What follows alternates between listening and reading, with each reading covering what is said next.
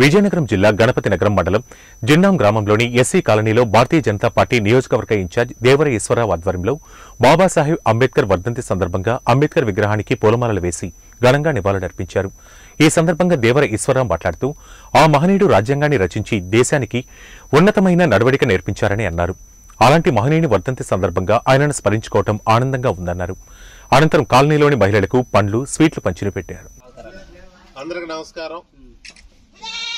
భారత రాజ్యాంగ నిర్మాత. భారత్ మాతా కి భారత్ మాతా కి భారత్ మాతా కి అందరికి నమస్కారం.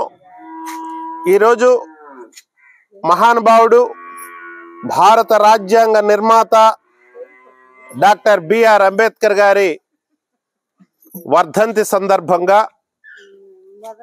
ఈ గ్రామీణ ప్రాంతంలో మనం అందరం